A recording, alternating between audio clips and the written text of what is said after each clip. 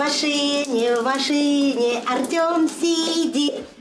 Би, би, би, би, би, би. Артему полтора года. Он младший ребенок в семье. Старшей дочери Светланы Кукушкиной уже 15 лет. Брат и сестра появились на свет раньше срока, семимесячными. Артем при рождении весил чуть меньше килограмма. Папа, Алиса, Артем какой лежит маленький, маленький. Смотри-ка, вот бабушка, дедушка.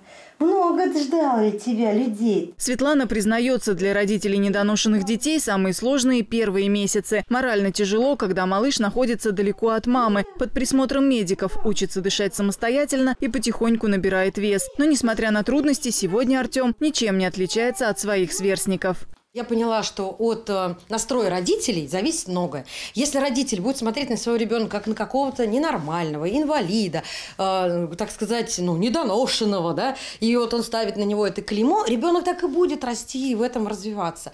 А когда ты говоришь, что это самый лучший, самый счастливый, самый красивый, и он и развивается так же, он идет с улыбкой в этот мир, да, даже в реанимации, как нам говорили, подходишь, а Артемка всегда улыбается. Артем – это подарок судьбы, говорит Светлана. После 15 лет брака они с мужем развелись. Уже бывшие супруги приняли участие в реалити-шоу на федеральном канале. Тогда они поняли, что чувства есть, надо снова жениться. После второй свадьбы и родился любимый сын Артем.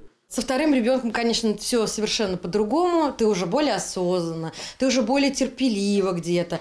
Ты уже так смотришь на это, ну ладно, ну подумаешь, залез он в эту лужу, ну испачкался он, ну на тебе новые перчатки. Для малышей, родившихся раньше срока, волонтеры движения «Мы вместе» подготовили сладкие подарки и организовали онлайн-трансляцию с настоящим концертом. В праздничном марафоне приняли участие медики областного перинатального центра и мамы из других городов области. Сегодня к нам присоединились присоединился Гороховец, сегодня к нам присоединился Ковров.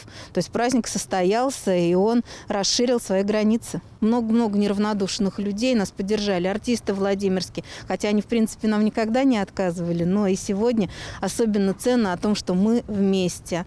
И этот праздник, он такой праздник нежности, понимаете, какой-то такой вот, что Каждый ребенок важен, нужен, его здесь ждут. По статистике, около 5% всех родов преждевременные. За 10 месяцев с начала года во Владимирской области более 400 детей появились на свет раньше срока. 70% из них выхаживали в областном перинатальном центре. Они рождаются раньше времени, у них незрелые все органы и системы, а главное незрелые легкие, они не могут дышать. И все это сказывается на развитии потом уже и головного мозга, и всех органов.